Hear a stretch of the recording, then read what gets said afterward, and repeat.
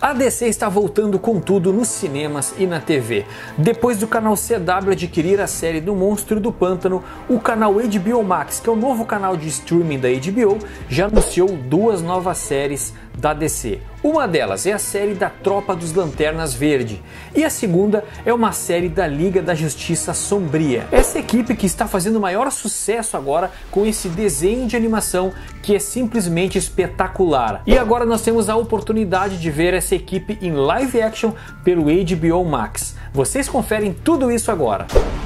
Ah, então quer dizer que está no ar mais um Nerd Fusão.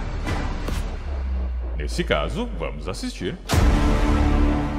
Fala aí galera, eu sou André Pacheco, esse é o Nerd Fusão. Antes de começar, não deixe de se inscrever aqui no canal, ativar as notificações para receber sempre em primeira mão as últimas notícias e novidades sobre a cultura nerd. Lembrando que nós temos aqui também todas as sextas a live Zona de Distorção, aonde eu me reúno com meu amigo Rafael Monteiro de Castro e o Moisés Sky e nós debatemos as nerdices da semana. Então assina o canal para você sempre estar por dentro de tudo que acontece do mundo nerd com com completa isenção e de forma muito divertida.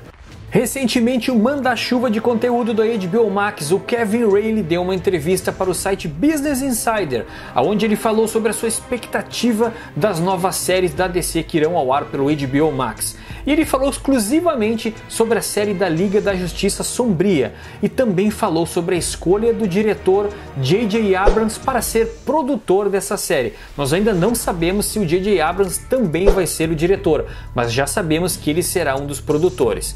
E o Kevin Rayleigh declarou que o J.J. Abrams sempre demonstrou uma grande paixão por essa equipe de personagens, que ele tem uma oportunidade imensa de explorar e mostrar algo nunca visto antes. Esse projeto antes estava na mão do Guilherme Del Toro, que é um outro cineasta espetacular também, mas agora passou para a mão do J.J. Abrams. É esperado que essa equipe seja formada pelo John Constantine, pelo Monstro do Pântano, pela Zatanna e pelo Desafiador, lógico que muitos outros poderão também aparecer. Eu acredito que se eles mantiverem a pegada da série do Monstro do Pântano, dos Titãs, essa série um pouco mais realista, eu acho que vai por um bom caminho essa série. Tanto essa da Liga da Justiça Sombria, como a da Tropa dos Lanternas Verde.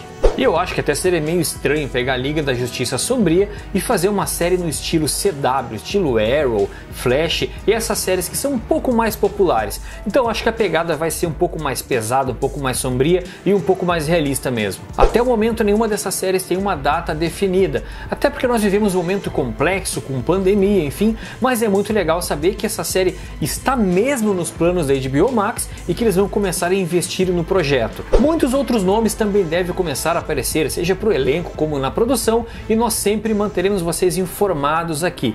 Por enquanto é isso, eu vou ficando por aqui. Um abraço a todos e até a próxima, pessoal.